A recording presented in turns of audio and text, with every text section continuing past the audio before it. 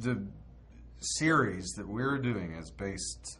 In, Maggie's done quite a good job. It's based on a novel, Witches of Eastwick by John Updike, and then a movie, Witches of Eastwick, that featured Jack Nicholson, three fabulous actresses from the '80s. So she's taken kind of the best of both worlds and amalgamated the two of them, and it's so there, there are three women in the town of Eastwick, in the East East Coast U.S., and they're they have latent powers or they have hidden powers that I arrive into town and kind of liberate them and empower them.